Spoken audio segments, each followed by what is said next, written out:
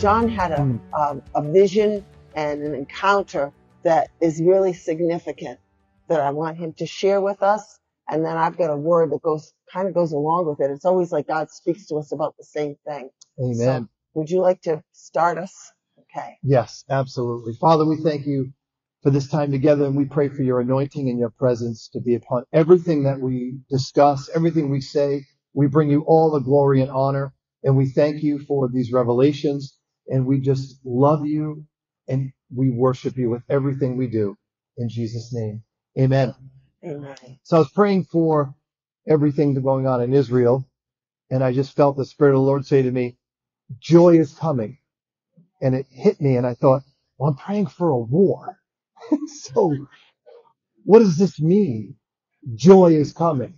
And then I saw in an instant, I saw, I'm going to read it to you because I don't want to leave anything out, but I saw the White House and I saw that it had turned black and it was completely black from top to bottom, left to right. But the outline of it was the White House and I knew it for sure. And then all of a sudden, the color of the White House began to turn white again. And it took over all the black. And before long, the entire house was white. And as soon as the white made it to the ground and all the black had disappeared, the Lord says, I'm turning my house white again. There's a time coming, though, know this, it's not too far off, where all will seem lost. But know this, says the Spirit of the Lord, I am returning righteousness to the house you call white. I am returning the color back to white. Oh, You must stand and pray. You must call on me to move. Joy is coming. Hallelujah. And I knew, I knew in that moment through the Spirit, I knew that everything that's going on in the world is because of that house turning black. If that house was still white like it was at one time, none of this would be going on in the country. Because America is the heartbeat of the world. yeah. And when the heart is evil, the rest of the body is evil as well. So because that White House is black, this is what's happening.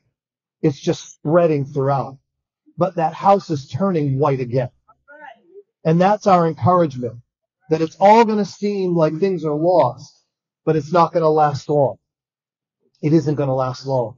And God's returning righteousness back, he says, to the house that we call white. Yeah. Amen. And, and that reminds me. Yeah. Yeah. It's a good word.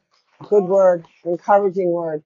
Uh, it reminds me a few months ago, the Lord spoke to me and told me a shaking is coming to your land, uh, and, Mm. uh, that it will not last long and it will not harm you.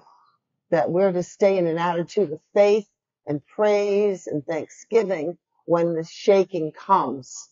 Uh, but that there is a shaking coming. And Yeah. I kind of feel that we're entering into that time of shaking with this war in Mhm. Israel uh, that's going on. I just want to reiterate what the Lord had spoken to me about the war in Israel. And he said that Tuesday morning, he spoke this word to me. The war in Israel will be short lived. Much damage on both sides and much heartbreak. The cost will be high. Israel will react like an iron fist slamming down with great force. And when he said that, I saw a literal iron fist come down. It wasn't made of flesh, it was iron. And he said, this will put a sudden stop to the carnage and it will be my doing. When Israel responds like this, hard, fast, does something, you know, to st- put a Mm. stop to this, God's behind it. Though we're hearing so many people say Israel shouldn't do this and Israel shouldn't do that, that's not what God's saying. God's saying when Israel responds with sudden force to stop this, Right. That it's my doing, that I am initiating it. We know that uh, I remember when after September 11th and they loosed uh, an offensive against Iraq, hmm that God spoke and said he wasn't in that, that that was not his plan. It wasn't him. But God is saying of this situation now, it is his doing. Wow. All right. He is motivating this. That's why I felt tonight when we prayed, we prayed for Netanyahu, that he Mhm. has the mind of God, the heart of God, Right. and that he does what God shows him to do, Mm. that he stays healthy and strong. Continue to pray for him. Okay. Because he's in a tough spot. Yeah. And then he said, the wicked will run scrambling for cover to no avail.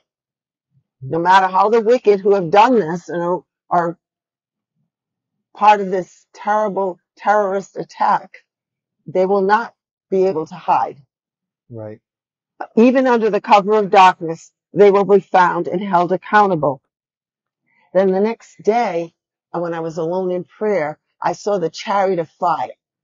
Mm. Oh, that's only happened one other time that I saw the chariot of fire when I was in worship here in the church on a Sunday morning. And, and the Father came through in the chariot of fire to pick up the worship of his people. And I saw him. He said to me, he came into my prayer room in the spirit. He said, come on, come with me. I want to show you something. So I got in the chariot of fire with him and off we rode and he began collecting the prayers of the people. He was collecting mm-hmm. the good deeds people were doing, the prophetic mm-hmm. declarations, the, the scripture verses people were dec- declaring and meditating on. Everything good. He was just gathering it and, and he was showing me that there was an urgency. He couldn't wait for those prayers to just ascend to heaven and fill the bowls. You know how the scripture says Mm. that our prayers, the prayers of the saints, fill the bowls in Right. heaven. And then when they're full, the bowls are tipped over and the prayers are answered. Well, God was like, there's an urgency about this. I'm going to get these prayers now. I'm not going to wait for them to come to heaven.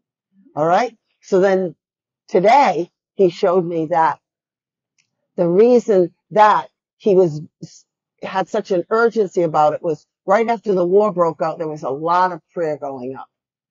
But a, a few days have passed and he said the prayer have diminished.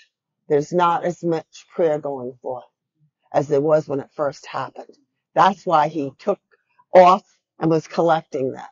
So I, I knew by his saying that he wants us to continue to pray, not to Okay. let down that guard, okay, not Mhm. to let down the call in our lives to pray for Israel.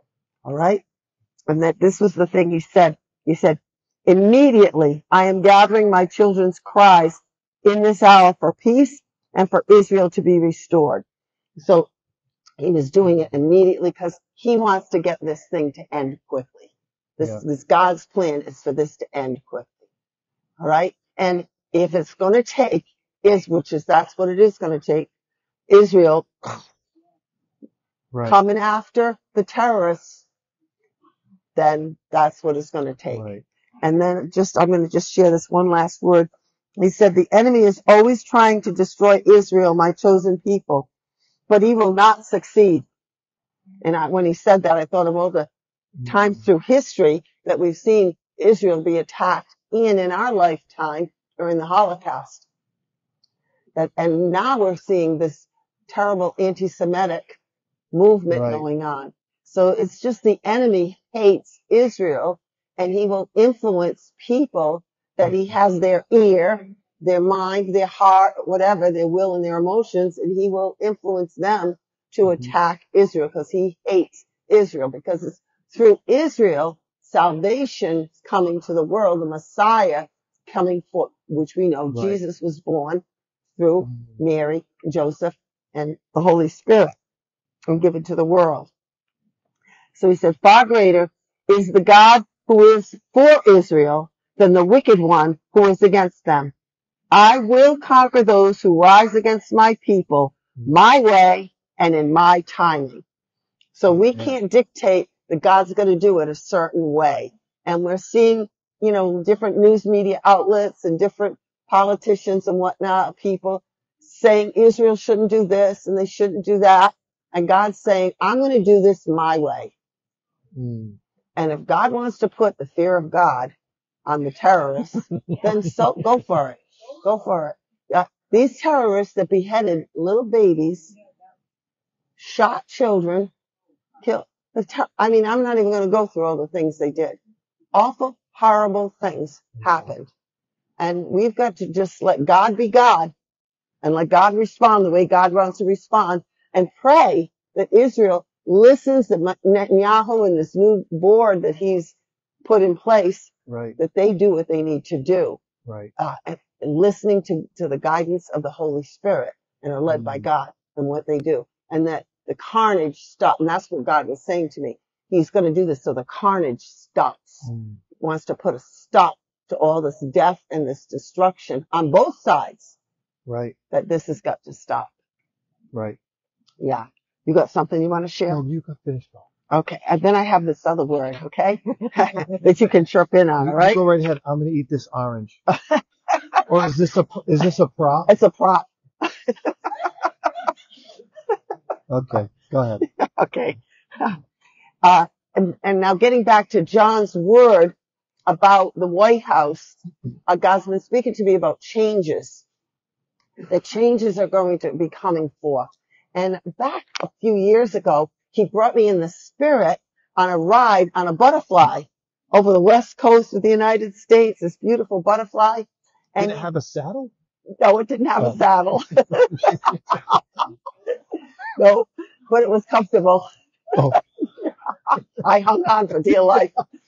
And, and the reason he said, the reason I brought you on a butterfly is because the change that's going to be coming to the world is going to be as Mm. dramatic as the change that happens when a caterpillar is transformed into a butterfly. Wow. All right. Wow. Yeah. That it's going to be, you know, a little caterpillar, little scrawny little caterpillar is nothing beautiful to look at. And it's changed into this magnificent butterfly. And God said that's Mm. how dramatic the change is going to be that comes Amen. about. All right. Right. And that was to me, Yeah, same thing. That's right. And that's what our prayers are doing. You guys have been coming here for months and months and months and years, and you've been praying that White House white again. But I'm telling you that the time is now. So we can't let up on our prayers. We can't let up on just, you know, declaring the righteousness back into this nation because the world depends on it. Once our nation becomes righteous again and gets given over to the Lord Jesus again, the rest of the world is going to benefit from that. Amen. Uh, so then he started talking to me Monday morning about changes. And he said some changes have been very beneficial while others have brought great harm. So we've seen changes happen in our world in the last couple of years. There's been some changes that have taken place that were not beneficial. Mm, Okay.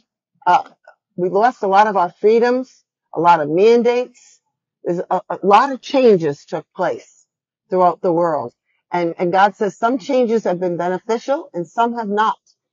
And he said, who initiates change determines if it will bring forth good or evil. Whoever initiates it, whoever starts the change determines whether it's going to be a good thing or an evil thing. mm, An evil entity can do no good. Whatever Satan initiates will always bring harm and catastrophic loss. Whatever changes I initiate will bring great blessings, joy, peace, and prosperity. And that's what I feel through what John saw was a change God is initiating. That's right. All right. That's and right. what did you see Mm. that this is going to bring forth? This change of the the White House changing from black. Who put, who made the White House black? The enemy. Right. The enemy influencing people with to rule wickedly. You know, wicked things going on in the White House. Turned it black. The enemy brought about that change. God saying, Revival is coming yeah, amen, because joy is coming. amen. And when joy is here, revival's here. Restoration is here. Healing is here. Oh, Creative miracles are here. Deliverance is here because joy is the major topic and all those other things fall underneath it. So whatever you can think of that is good, that relates to joy, that is what's coming. And he's allowed us to have tastes of that. Little bits of that. We've, we've experienced that. We've felt it. All these things that are happening, we hear reports all over the place. That's going to be the commonplace. So instead of just one or two testimonies and, you know, everyone's, wow, that's amazing. Everyone's going to have a testimony because it's going to be commonplace. It's like when the interest rates are low, there's no one that gets surprised that you received a low interest rate on your mortgage because everyone gets the low interest rate on their mortgage. When interest rates are high and you say I had sixes or seven percent or eight percent on my mortgage, no one's surprised by that because they're all getting the same number. It's the same thing. It's not just going to be here and there or whatever. It's going to go from the center out. And God put that White House there as the center because all nations look to that. We even all look to that. We do. We look to that to see the leadership and what's happening and what we have to pray for. What is the pulse like in our nation? We look to that. And once that goes from that black, disgusting color that it is now, with all the little demons that are living inside all those offices inside that place, once they get booted out and rooted out, come on, yeah. booted and rooted, white is returning to our house. And then the whole nation has victory. Once that house is made right, everything else is made right. It spins off of it. Amen. Amen. Now getting back to the word that God said, he said, when I rule, I can bring forth the changes that are needed for my will to be done and for my children to live blessed. So when God rules over our lives, huh? He can bring Right. forth the changes he wants to bring forth when we commit our lives to him. He's free Mm. to bless us and to bring forth those blessings. But if he rules over regions, over nations, or over the world, he can do the same thing. All Right. right? He said, I will rule once again. I am bringing forth a season of change. My children want me to rule and want those who are very wicked to be taken out of their seats of authority. Amen. Do we want that? Does the world want that? Yes. We're hmm. sick of it. Deep groans are going forth from those who have been oppressed and dominated by evil leaders. He's saying, God's saying, I'm hearing deep groanings Mhm. from people that have been oppressed by wicked leaders. Mhm. People are groaning. I, I was listening to somebody on on YouTube was saying that they were given an opportunity for a wonderful job with a huge pay increase that he said my children would never lack for anything, that he, it was going to bless his entire family. It was a huge increase. And then at the last minute, as he was just going to accept the job, he was told only this one qualification. You have to get the vaccine and all the boosters in order to work here. And so he said, I can't do it. I can't do it. And so just such disappointment that he lost such a blessing. All right. That people are groaning. You know, he saw this wonderful opportunity, but Mm. he, what was his choice? Okay. And so he chose not to have the vaccine and so he didn't get the job. God's many people are groaning under the weight of the oppression of leaders that have been taking our freedoms from us and oppressing us in many, many ways. Mhm. And health wise is one, but also finances. There's heavy burdens of taxation are, uh, uh, the cost of everything is skyrocketing and our income hasn't. Right. So that people are being really in a tough place, groaning Mhm. under the weight of this oppression. And God says, I'm hearing this. Mhm. All right. He said, the masses are ready for change. Mm. This is what God is saying. The masses are ready for change. Mm. Okay? They no longer want the wicked to rule over them in their lands. All right. We pray tonight for Brazil. Do the people in Brazil want change? Do the people, Right. huh? In parts of India want change? Oh, yes. They long for goodness that only comes from a good God and a kind king. People are longing for good rulers, Mm. kind rulers. Okay? They will let me rule and not rebel from my ways as they did in the past. And, and the Lord had shown me, um, the couple of days previously that a king only can rule if the people allow him to rule. Right. If a Right. if a person's in leadership and nobody will listen to them and they won't do what they say, well, the king has no authority. And the king really is just in name only. And eventually we'll lose that place because the people will put someone else mm-hmm. in ru- rulership. And what God showed me was that as king of the world, he created the world. This was his world. He was king. He's God. But people refuse to see him as king and listen to him and obey him and follow him. And over the last, how many years, especially last 75 years or so, we've seen that especially happen with the laws that we passed, uh, legalizing abortion, huh? Mhm. taking prayer out of school, prayer Mhm. taken out of different gatherings, sports Right. gatherings, political thing. In so many ways, little by little by little, we have kicked God off the throne Mm. and says, I'm not listening to you. You're not my king. And so he says, I can't rule where people won't obey me.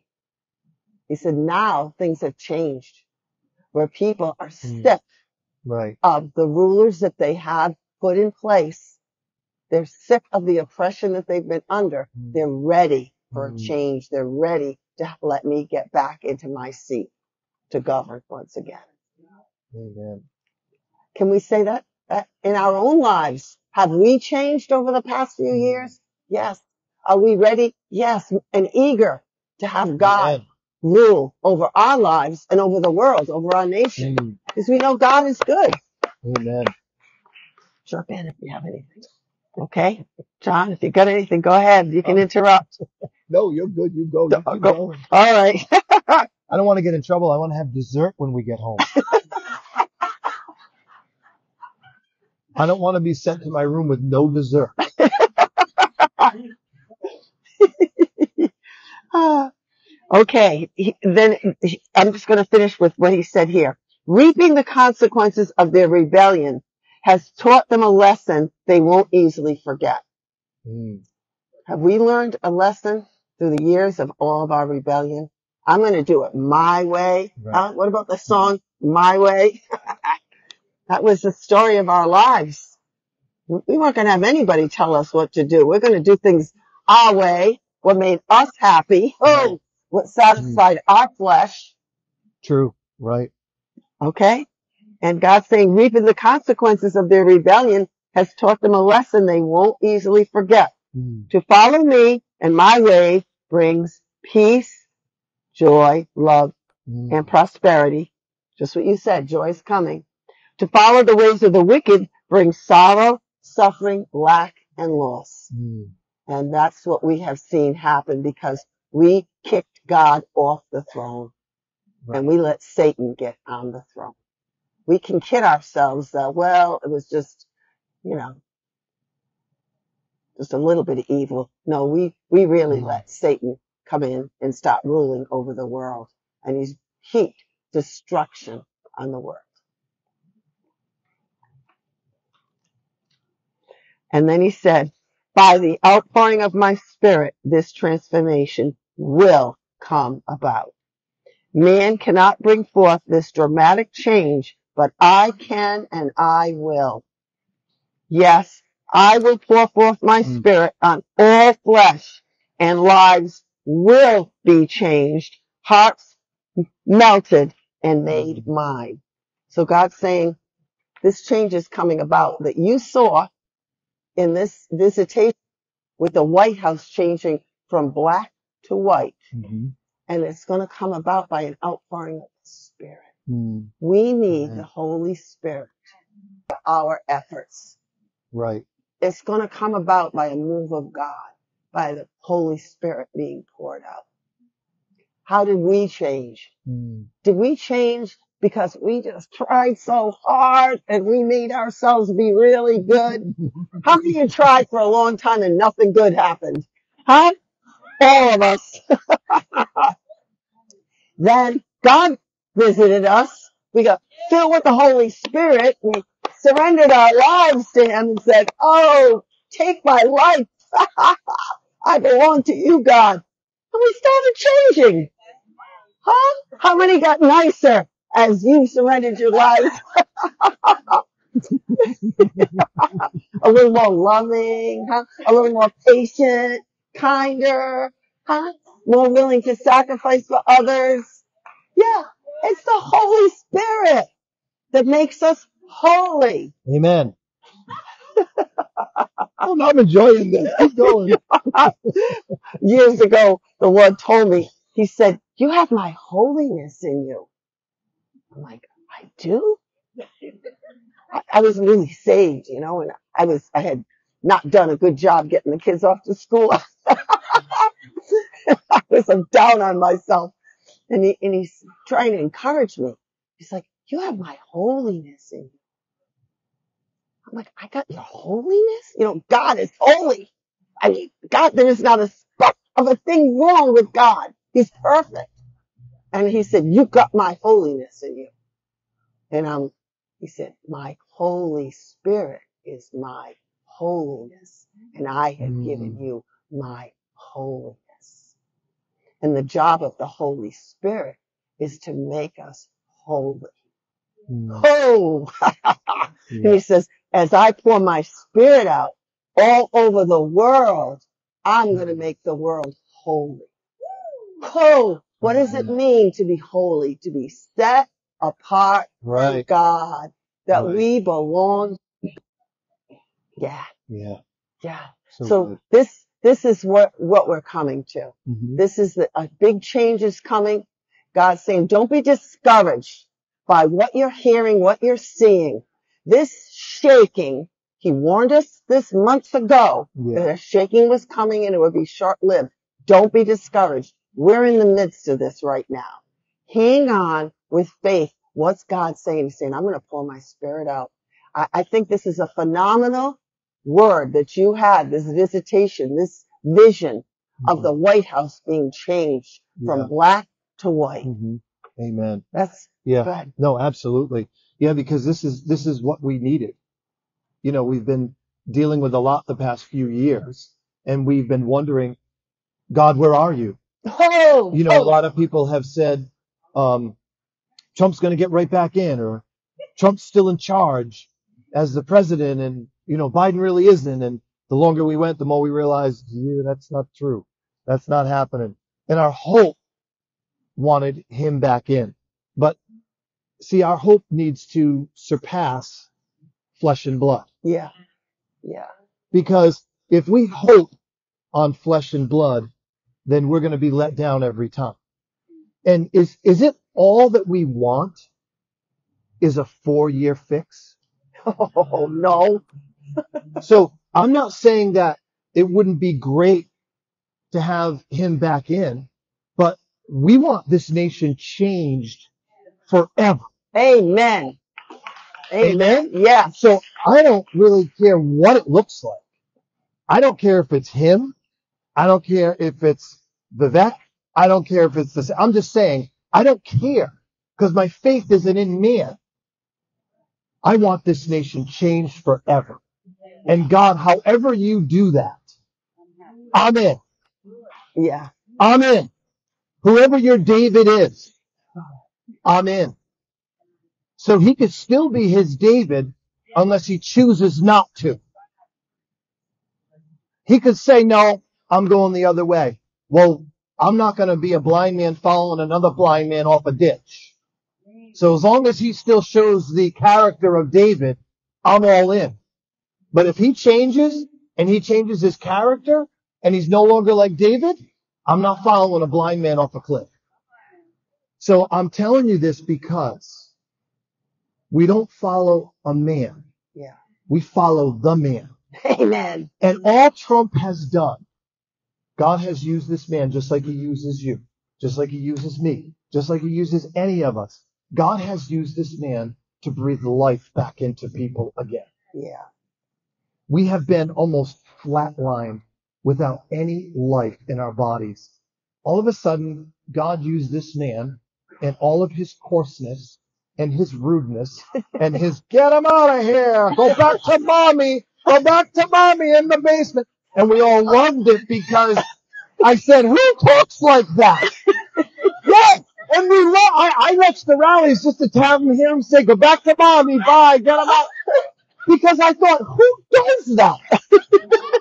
and what happened was we went from being in this position to the edges of our seats. What's he gonna say next? Is this guy gonna tweet next? It breathed a little hope because he was speaking the things that we were thinking, but we didn't have microphones to set. And he would say it. And God used him for that. I pray that he still allows God to use him Yeah. Yeah. the Yeah. next four. Yeah.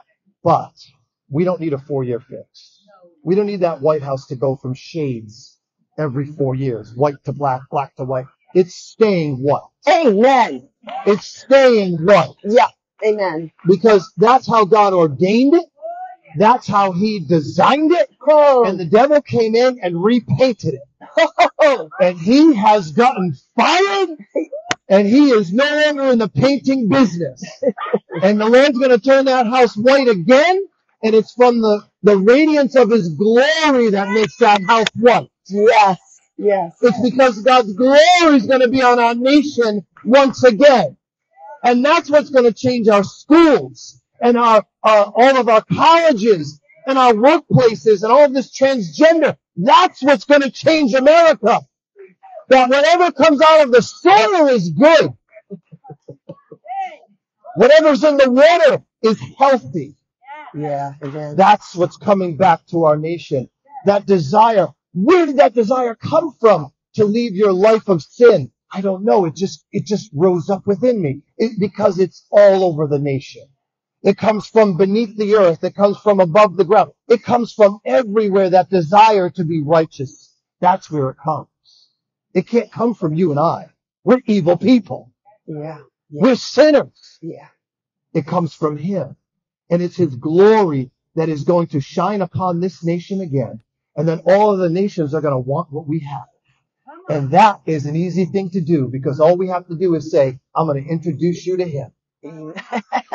I'm going to bring him to you. And that same glory that we have here, you can have over you there. Are you excited? Yeah. Okay, yes. Oh, the anointing's on me now strong. An orange? no thanks. what we're going to do now, we're going to worship. Oh, we're going to worship God because that's what brings His glory. That's what brings the outpouring of the Holy Right. Spirit. As we worship Him, it draws Him. I- I'm just going to close with this and remind you of that. I saw what I saw in the Spirit a few weeks ago when uh, Father brought me high above the earth Mm. and I looked down and I saw the world total darkness. It was in complete darkness. And then as I looked at the world and the, I was close to the Father, I could feel the heart of the Father. And the heart of the Father was broken because he could hear what people were Mm. saying. He knew what they were thinking, knew everything people were doing. And it was so much evil. And his heart was broken by what he was seeing and hearing. And, and so he was letting me feel a little bit of what he was Mm. feeling. And then I started seeing lights start shining here and there on the world, little tiny white lights. And they started to multiply. and the lights were drawing him, his attention. Father's attention was off the darkness Yeah. and was on the lights. Mm. And as these lights grew and got stronger, he, he was drawn from heaven to the earth. And then the whole world just had this fire, glowing Mm. fire, just all over it. The glory of God lit up the whole world. Mm. It was no longer in darkness. It was full of light. And so Amen. what drew him? I could feel, I could feel the love uh, from the remnant, the people that these lights represented. I could feel that love drawing him from heaven to the earth. That's why worship is so, so important right now in this Mm. hour. The Lord told me spend a little more time in worship on Friday nights because that's what's going to bring the victory. Okay. And why is it going to bring the victory? Because it's going to bring his glory, his presence, Mm. not just here in this meeting, Mm. but as we're worshiping, we're standing in the gap for the whole world. We're standing in the gap for our loved ones, for the nation, and for the world. We're singing Mm. on behalf of the world. God, it says in Jeremiah, I looked for the land for someone who would stand in the gap for the land. I looked all throughout the land and I couldn't find anyone. Right. That's not what's going on now. God's Mm. looking throughout the land and he has found a people Mm. who love him with all their heart, mind, soul, and strength and love their neighbors as their self. And Mm. because he has that people that love him, he is going to pour his spirit out Mm. Oh, on all flesh. We, our worship isn't just for us here. This is what he wants us to know. It's affecting the whole world. Amen. Mm. Okay? Your worship is affecting the whole world. That's what I saw. It was the worship of those few pulled his presence from heaven to the mm-hmm. earth and the whole world went on fire mm-hmm. for God. Mm. All right. So that's why when you're worshiping, know this every week.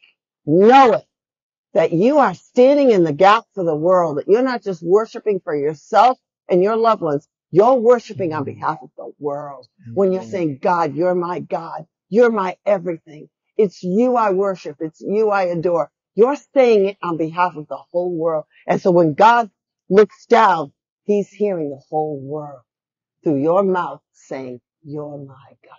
You're my friend. I love you. I'm going to serve you forever. Mm. That's why worship is so huge. Amen. Okay. We, we did warfare. We bound demons. We declared the word of God. We prayed. We proclaimed the word of God. That's part of the, the warfare and the battle. Now we're going to enter into another part of the battle, which is worship. Worship warfare. Let's all stand. Oh,